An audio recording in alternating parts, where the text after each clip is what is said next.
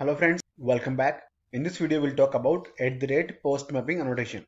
So guys in this video I will explain what exactly at the rate post mapping annotation is and how it works. I'll give you a demo to explain the concept. Alright, so that being said let's begin the video. Alright, so let's see what exactly a post call. For example, we are using Flipkart. So guys, either you can use mobile application or you can use the web portal, right? And say for example, we have two users, ABC and XYZ. User ABC is using the mobile application and user XYZ is using the web portal, right? And they both want to register on Flipkart, right? So user ABC will pass his information to the Flipkart API. Flipkart API will create a new record into the database for user ABC, right? Similarly, user XYZ will pass his information to the Flipkart API. Flipkart API will create a new record into the database for user XYZ. Right guys? So guys, what exactly is happening? We are sending user information to the API and API is creating a resource into the database. Right? So guys, whenever we are sending some information to the API to create a new resource into the database, it means we are dealing with post call all right i hope this is clear all right guys. At the rate post mapping method what it does it basically handles the http post request matched with the specific uri and it was introduced in spring 4.3 version. Before at the rate post mapping annotation we used to use at the rate request mapping annotation with a property called method where method equals to post. Okay?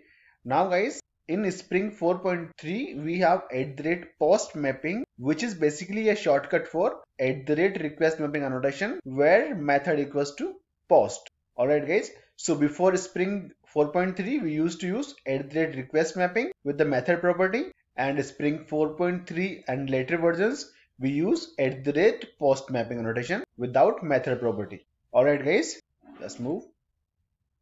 Now guys, let's discuss this particular example so basically what are we doing here is we are creating a new resource into the database. So as I said earlier, we use at the rate post mapping annotation to create a resource into the database. Okay, so basically here we are sending user information to the database and we are adding into the table. Alright guys, now let me do one thing. Let me give an example. Let me give a demo to explain at the rate post mapping, right? So what I will do, I'll start the IDE. Here we are I already have a user REST API Spring Boot project. Let me start our application. Let me show you how it looks like at the moment. Alright, so here it says your application has started on port number 8080. Now guys, let me start Postman. I'm going to make a get call first. Localhost 8080 slash API slash users. Let me click on send. Now here guys, what you see? So basically in our list, we have got four users. So if I go to the code and if I go to the user controller if I go to get all users functions what do I have? I have a list of users in my service class okay? And here you can see that we have got four users into the list right guys? Now what we want to do is I want to explain the at the rate post mapping annotation okay? So let me do one thing. What we'll do we are going to add a new user to the database okay? So I'll create a new function public and return type response entity of type user and the function name is create only. And here I will pass at the rate request body annotation of type user new user okay?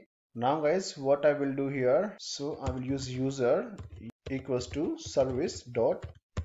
I'm going to create a function in our service layer and I'm calling it add user. I'll pass new user here okay now I have to return. Return new response entity with what? With the new user dot http status code dot created. Okay so guys this is good. So basically in our post call we are returning the user the new user. And now we need to create a function add user in our service layer. All right? So guys i already have a list called user so what i will do I'll simply add users dot add and I will add new user to our list.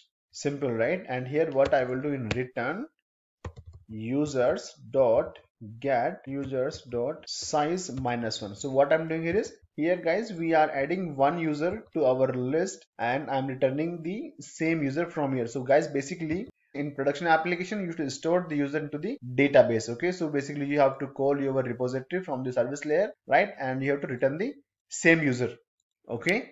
So this is done. I don't see any error. Let's go and add at the rate post mapping annotation okay? And I will add the endpoint slash API slash user alright so what are we expecting? I'll send the user information right and we want to add the user to our list alright guys so what I will do I'll stop our application let me just restart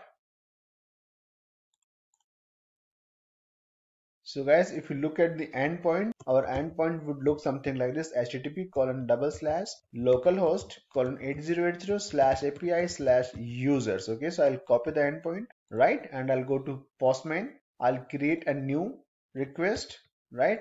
Now guys, here I have to choose post. That is what we want to understand. Now guys, we need to pass the user information, right? So we have to go to body here and I'll go to raw so what I will do, I'll copy the user information from the previous result.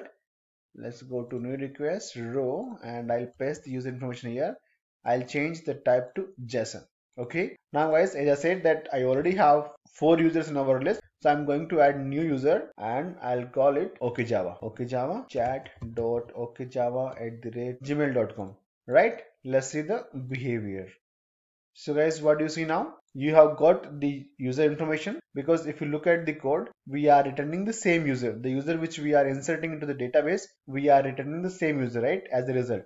And here you can see status code is 201 created. Okay. Now guys, if I go and hit our get request one more time, what do you see now? You have got your fifth user here.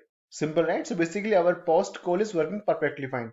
Alright guys, now if I have to add user 6, I can go and simply add 6 and here I can add Brainy, Brainy at the rate supergirl.com. Basically we are adding one more user.